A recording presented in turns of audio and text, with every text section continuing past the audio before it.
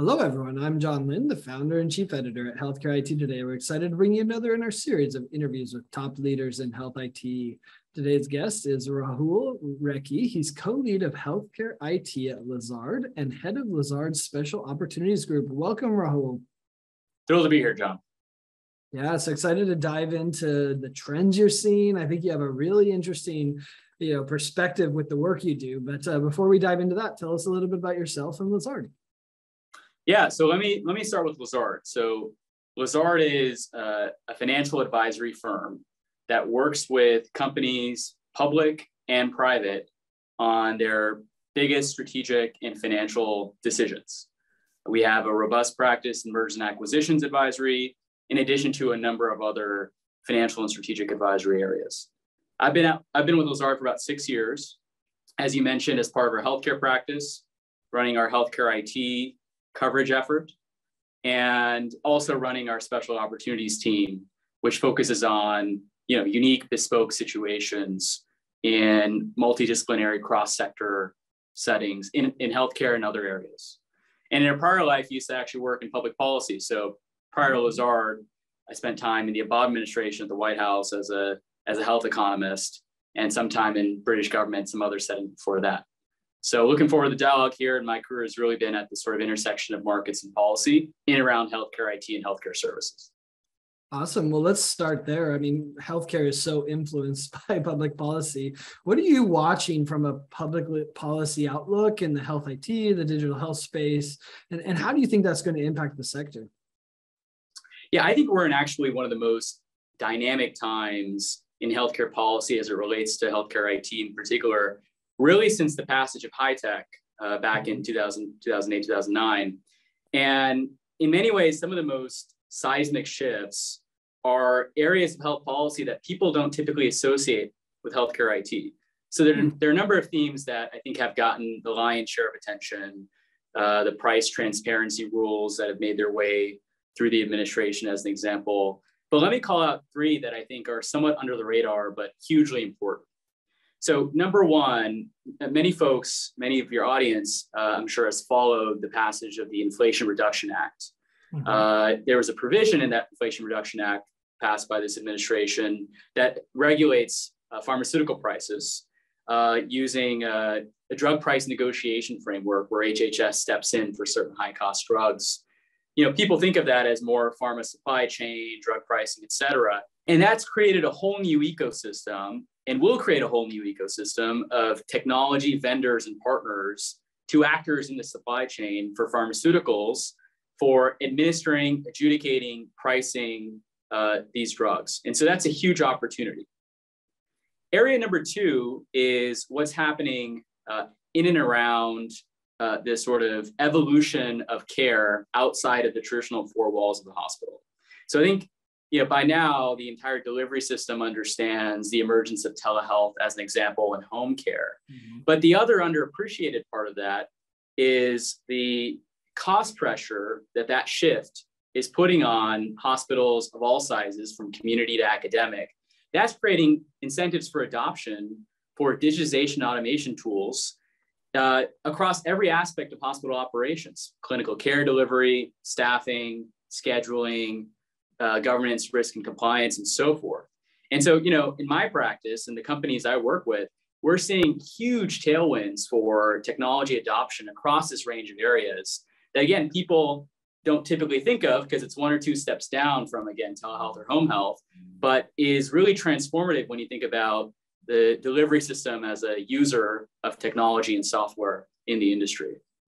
And then the last thing I'll call out is the I think in some ways the most important uh, policy change that I view as right around the horizon when I'm when I'm sort of looking out at, at what might be coming out, and that is a fundamental restructuring of how we think about Medicare and Medicare Advantage. Hmm. You know, in many ways, we're living on a Medicare Advantage framework that is drawn from a world where Medicare Advantage was, say, 10, 15, 20% of the pool of members in a world where Medicare is Medicare Advantage now trending to be north of 40, maybe even north of 50 percent of all Medicare members in the next few years, it requires a rethink of many aspects of, of how that program is administered, from how rates are set and benchmarking to risk adjustment to even how we think about attribution between Medicare Advantage and the value based care programs on the fee for service side.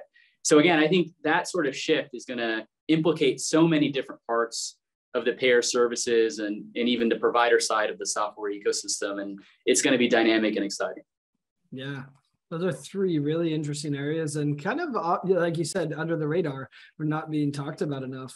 What I, what I think has also been interesting watching is is we've seen this explosion of M&A and investment activity Right. And now we're seeing a bit of a dip, I think, although I still am posting five a week easily, which is like, wait, this is a dip and we're still seeing so much activity. So right. what do you think and what do you think we should expect from the M&A, the capital markets, you know, over the next couple of years? Yeah. Well, John, as someone who wouldn't mind uh, taking a vacation every now and then, I got to say, I'm, I'm, I'm still looking forward to that dip. It, has, not quite. Yeah, like yet. a dip. I got you. Things have been pretty busy yeah, let, let me call it a couple things. I mean, you're absolutely right that in certain parts of the market, because of what's happening in the macroeconomic environment, you have seen an air pocket, uh, especially in uh, merger and acquisitions activity, M&A activity uh, around private equity held assets, mm. where it's much harder now. That may change, but it's much harder at this moment for uh, large buyouts uh, to raise the kind of debt that these firms need to finance these transactions in the private markets, in the leverage loan and high yield markets in particular. But what's interesting is, and part of the reason it's been so busy is the flip side of that is for a lot of strategics that are well capitalized, so large public companies that are flush with cash, that have seen the valuation trends in healthcare IT over the last few years, mostly sat that out with a few notable exceptions. You know, they're now saying, well, this is sort of like Black Friday or Cyber Monday for buying companies, right? And now, yeah. now's the time. And so you have a lot of strategics uh, thinking really hard about uh, what their priorities are and how they can execute on M&A now that sets them up for kind of a post-cycle boom in the next few years, taking advantage of the attractive valuations that we have today. Now, that doesn't happen overnight. And I think part of the reason we haven't seen a true deal explosion of activity yet from strategics is because there's still some element of a bid ask spread between buyers and sellers. You know, buyers are saying, well, you're 40% off, so, you know, time to sell. Sellers are saying, well, you know, we were worth, uh, you know, 50, 60, 70% more just a few months ago. And that's what we're still worth. That's fundamental value. That spread is narrowing and it will continue to narrow over time. And we're approaching the strike zone where I think you'll see a lot more deal activity because both sides see that there's value to be created from, again, kind of meeting in the middle. Uh, and I expect a lot of that, especially going into 23. Um, the other part of this in M&A that I think uh, is going to be a big shift 23 onwards is the entrance of a much broader array of actors and hmm. consolidators in healthcare IT. You know, you had now over the last couple years, after much conversation and excitement and sort of this being ballyhooed, you have large tech that's made a series of large tech companies that have made real acquisitions of, of size and scale. Microsoft buying Nuance, Oracle, Cerner, Amazon now with One Medical. You know, I, it seems unlikely to me that that class of firms stops there. You have large med tech making inroads into healthcare IT in a major way. And now, you know, even most recently, if you think about um, Optum acquiring uh, EMIS in the UK, you now have managed care that's buying bona fide software assets. So in many ways, the, the chessboard has many more pieces now than even just a couple years ago. Yeah, and it's not hard to see how Walmart or Dollar General or, CVS could all do acquisitions as well. Some already have. So, you know, right. Best Buy's in on some of it, right? Especially home right. health. So yeah, you're exactly right. It's it's expanded a lot and they have cash, right? To, to your previous point. Right. That's really interesting. How do you think the, you know, recession and inflation, which you know we can talk, is it here? Is it gonna last? but how will that and how or maybe how is it impacting health healthcare. Right. Yeah, you know, healthcare as a as a general rule, as we all as we all know, it, it tends to be more recession resistant and sort of business cycle, to use the macroeconomist jargon, business cycle resistant than other parts of the economy. That is true.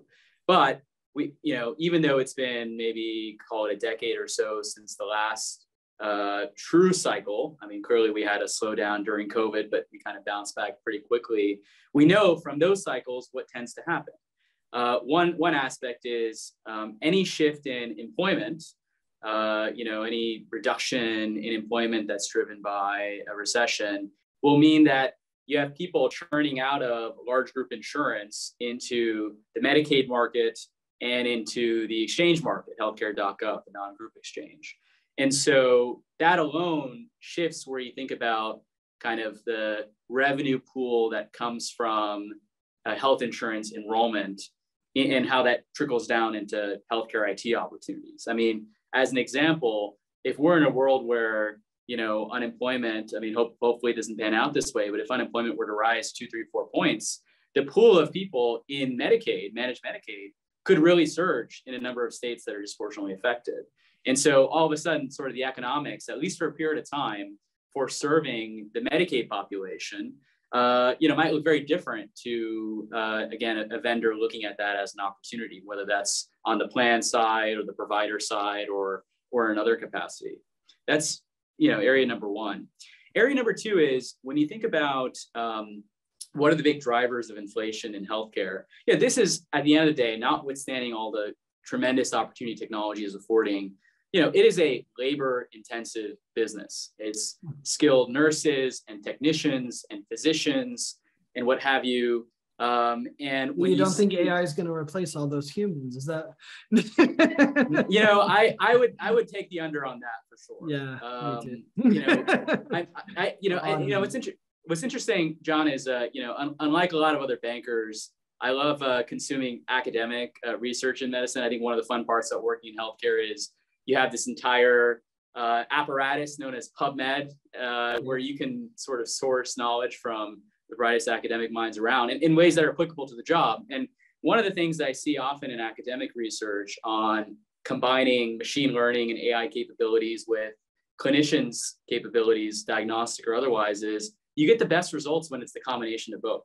Yeah. You know, I, I, saw a great study about a year ago where they compared kind of radiologist ability to detect say cancer on an MRI, uh, the ability for software to do that, and the ability of software assisting radiologists to do that. And the latter wins by a long shot. And I think that's the future for at least the foreseeable future, in, from my perspective. Yeah, that makes sense. Uh, you know, are there other trends that you're maybe looking at in the M&A activity, you know, across digital health or even consumer health? I think it's been interesting, the consumerization of healthcare, if you right. will. Uh, what other trends are you seeing from an M&A side? You know, one of the big shifts, even in just the last 18 months around this consumerization thing, which I agree with, it's utterly fascinating in many respects, is um, a growing universe of companies, including many of the ones you mentioned earlier, that are thinking about the population not as a series of insurance aligned segments like people have historically thought about healthcare, not the Medicare population versus the commercial versus, you know, but instead as a holistic almost over the course of a lifestyle, how can we capture engagement from patients and members throughout their journey? You know, in many ways, a, a transaction or merger that typified this was the One Medical acquisition of Iora uh, a couple years ago, and that ultimately, of course, is now you know pending regulatory review part of Amazon. You know, that was very much the notion of bringing the commercial, relatively younger population pair, pairing that with a Medicare focused capability, you know, more polychronic and so forth.